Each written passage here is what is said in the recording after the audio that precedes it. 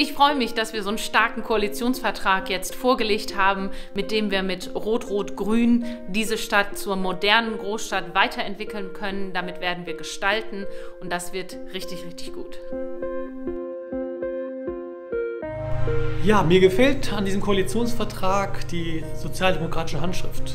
Denn gute Bildung, Gerechtigkeit, soziale Gerechtigkeit, aber auch der Begriff ähm, Nachhaltigkeit, nachhaltige Mobilität ist etwas neben der wichtigen, guten Bildung, etwas, was wir in diesen Vertrag reinschreiben konnten. Denn am Ende ist es wichtig auch, äh, dass das Gemeinwohl zählt und nicht die Lobby von irgendwelchen Leuten.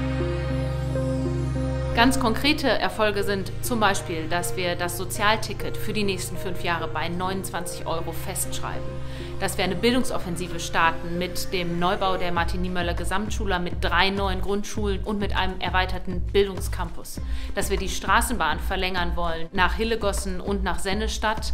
Außerdem werden wir mehr Raum für Jugendkultur und die freie Szene der Stadt schaffen. Ja, ich bin glücklich und sehr stolz auf diesen Vertrag, weil er auf der einen Seite sehr ambitioniert ist, aber das bedeutet auch gleichzeitig, dass wir investieren wollen in diese Stadt in den nächsten fünf Jahren. Denn nur so schaffen wir es und da freuen wir uns, dass die Stadt weiterkommt, innovativ, gerecht, sozial, nachhaltig.